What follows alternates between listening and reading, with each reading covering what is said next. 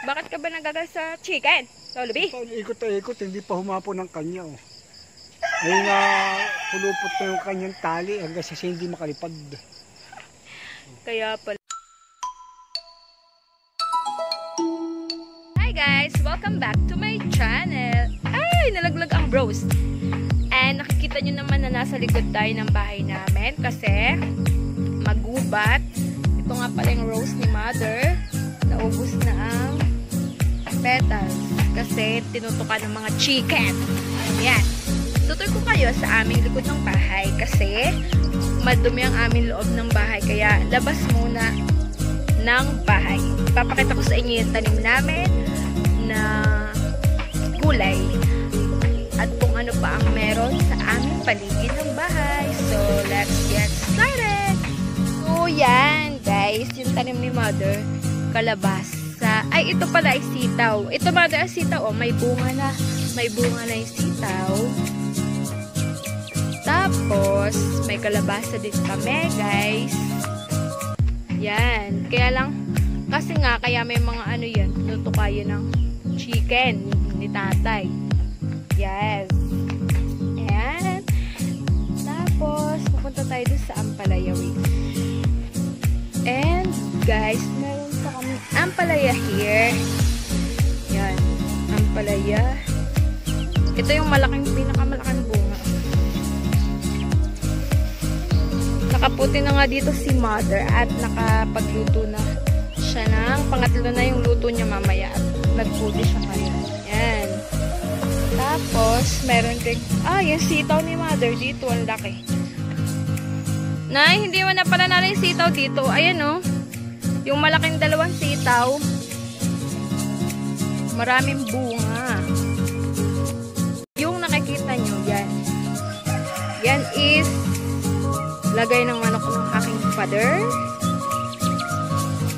Tapos, tapos ito guys, yan. Sitaw pa din yan. Marami yung bulaklak. Tapos, may bunga na. Yes. Super sariwa ng aming gulay. Puti-puti na lang pag may time. Tapos, may tanim din si Nader Kamatis. Bagong tanim. May orchage. Yan. Ito Yan. May orchids doon si mother. Tapos pupunta tayo doon sa gilid kasi meron doong santolina. Santolina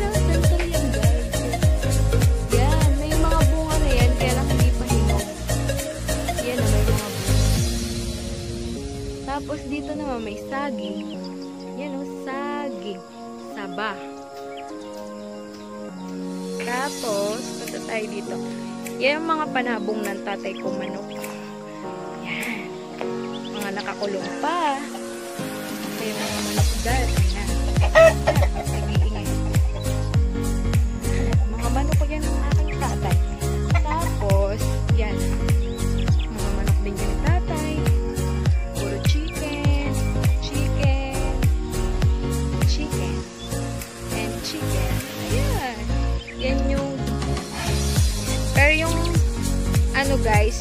Pinakang lupa namin dyan, hanggang dito lang. Yan, sa may santo. Kumbaga nakikigilagay na lang kami dyan. Pero ang ganda ng, ayan o, oh, ng gilid kasi ang daming loob. Ayan. Ito yung bahay namin. Sa bahay namin kasi makalat ang aming bahay.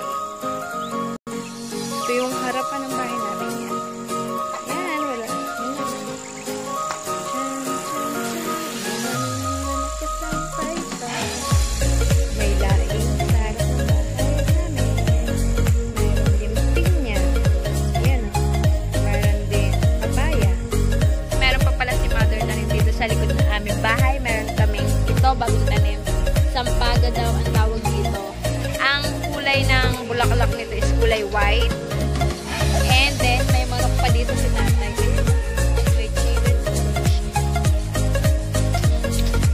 And then, yun guys, um, meron pa rin dito atis. Atis to ano, mother? Atis.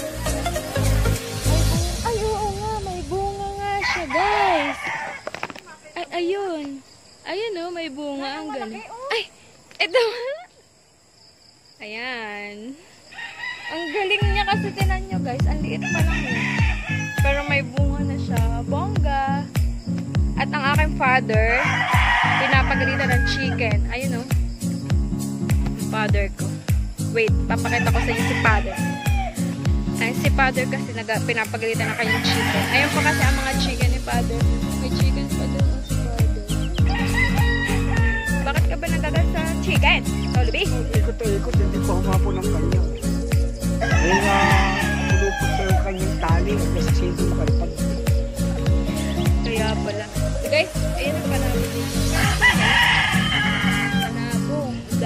Tatay panabong na chicken. Ayan yung bahay namin. Ayan guys, ang aming ano, love, puro puno-puno pa. Yes! Nandito kami sa. Bukid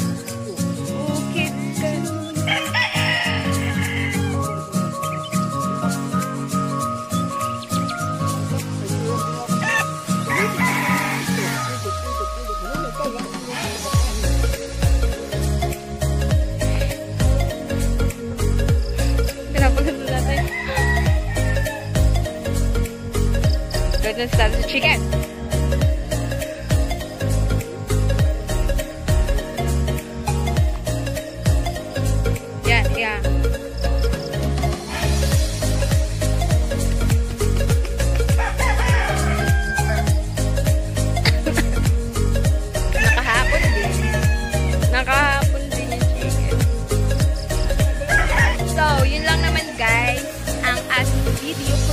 I-share ko lang sa inyo yung ah, labas ng aming bahay. Kasi nga, yung harap ng bahay namin at saka paligid is maraming puno, maraming prutas, maraming gulay. At kung nakikita nyo, meron nga palang saba. Ayun o.